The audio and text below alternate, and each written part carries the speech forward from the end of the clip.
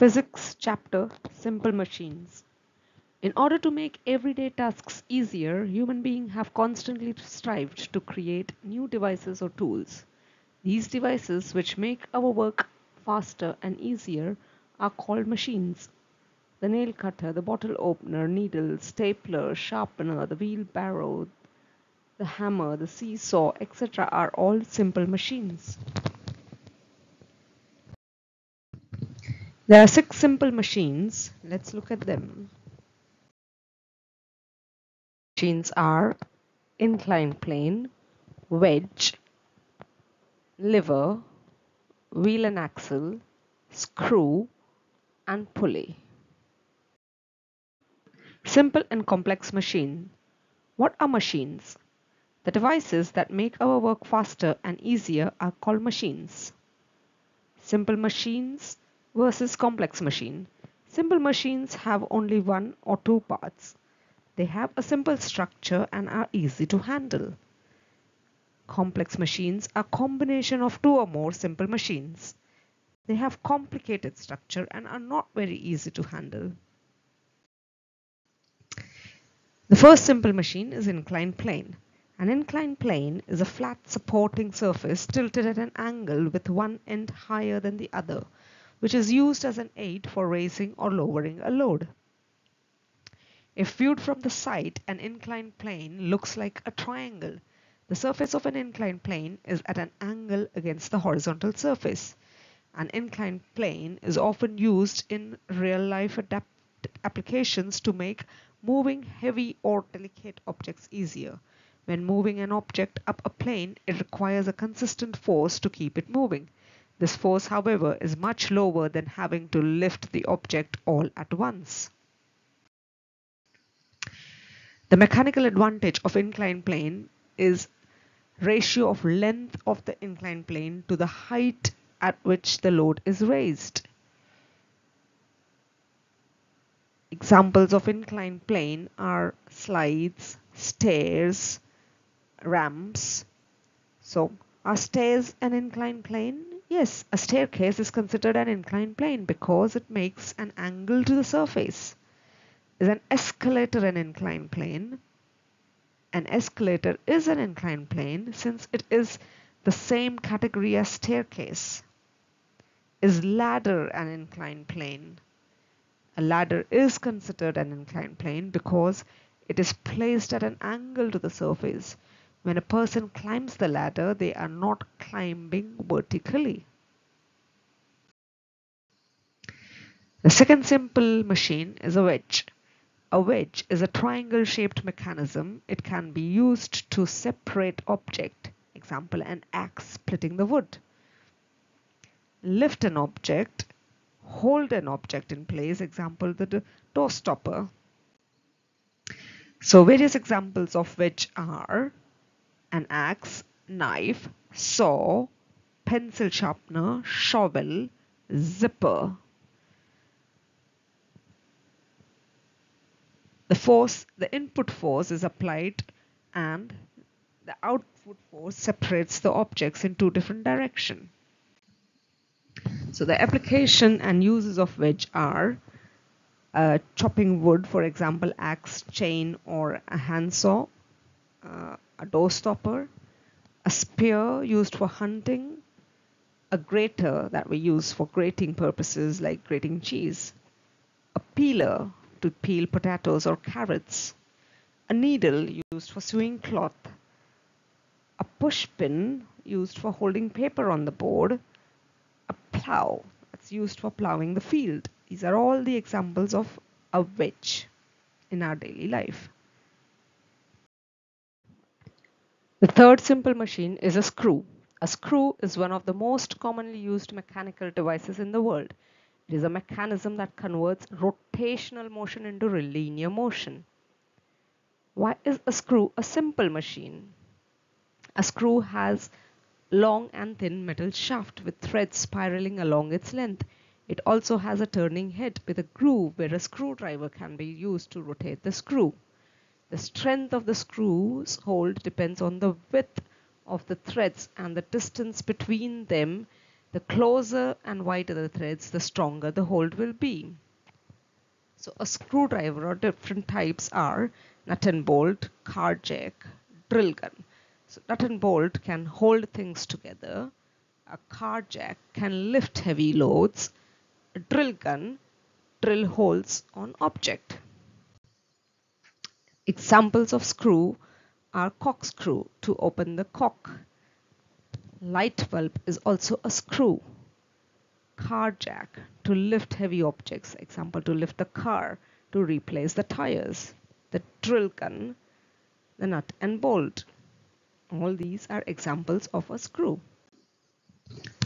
A bottle cap or jar lid is an example of which simple machine. So let's see the bottle cap or the jar lid is an example of a screw. The cap of the water bottle has a spiral shape. When you place it on the bottle and twist it, the cap pulls itself towards the bottle. Wheel and axle. The fourth simple machine is wheel and axle. A wheel and axle consists of a rod attached to a wheel. When the wheel turns, the axle turns and vice versa. There are two applications for wheel and axle. Force multiplier so it can be used to multiply force, such as turning the steering wheel of a car. So the steering wheel of a car is an example of wheel and axle. Distance multiplier can be used to cover distance, such as the wheels of a car or a bicycle are also example of wheel and axle and they help to cover long distance. So various examples in of wheel and axle in our day-to-day -day life are water tap, doorknob, wheelchair, an electric fan, windmill, pulley, skateboard, screwdriver. Remember, screwdriver is an example of wheel and axle. The screw is an example of simple machine screw, whereas the screwdriver is an example of wheel and axle.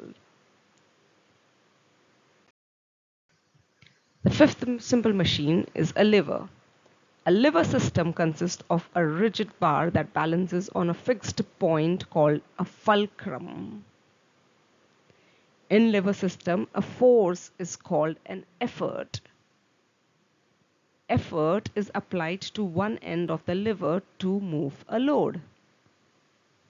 The position of effort, load and fulcrum determine the type of or the class of the lever. So first class lever or class 1 lever, the fulcrum is in between the effort and the load. Remember, fulcrum is in between, it is class 1 lever.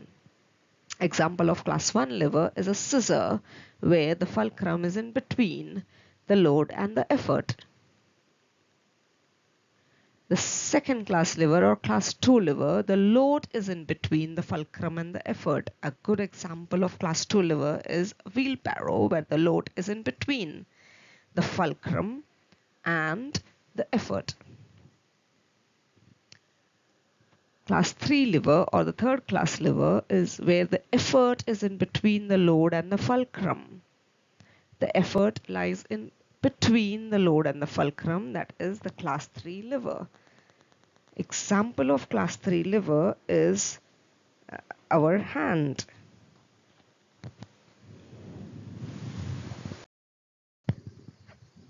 So let's see more examples of first class lever. Pilers, just like scissor, pilers are also class 1 lever.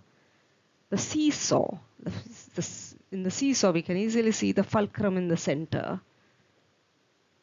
The scissor. Claw hammer is also a class 1 lever. The fulcrum is in between the effort and the load in all of these cases. Now the second class lever or class 2 lever as I initially said wheelbarrow is a good example of class 2 lever. Other examples of class 2 lever are nutcracker, nail clipper, bottle opener, door gate. So in class 2 lever, the load is in between the effort and fulcrum.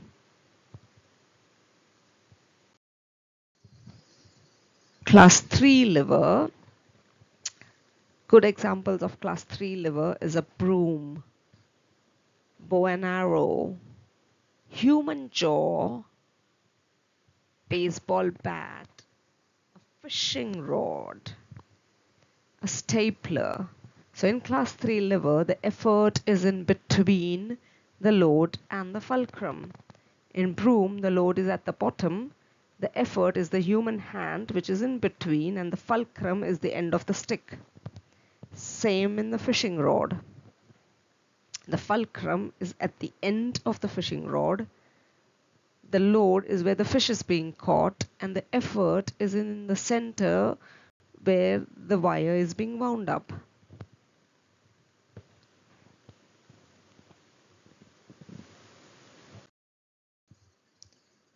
Now let's understand pulley. The pulley is a simple machine that consists of a grooved wheel and a rope. Like a lever, it provides a mechanical advantage in lifting heavy load. There is a direct relationship between the number of ropes that form the pulley and its resulting advantage. So there are two basic types of pulleys, fixed pulley and a movable pulley. What is fixed pulley? When the grooved wheel is attached to a surface, it forms a fixed pulley. The main benefit of a fixed pulley is that it changes the direction of the required force. Remember, the fixed pulley changes the direction of the required force. For example, to lift an object from the ground, the effort would be applied downwards instead of pulling up the object. So water well, to lift the water from the well, we draw the rope downwards and the bucket is pulled up so the water from the well is drawn up. The blinds, window blinds, an elevator or a lift. However, a fixed pulley provides no concrete mechanical advantage. The same amount of force is still required but may be applied in another direction. So the same amount of force is required but instead of lifting the object we are pulling it down. A movable pulley. A movable pulley consists of a rope attached to some surface. The wheel directly supports the load and the effort comes from the same direction as the rope.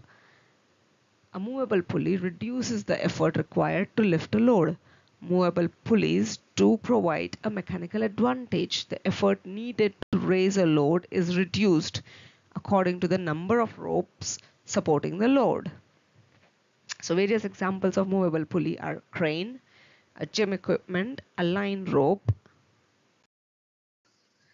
Thanks for watching. Hope you liked it.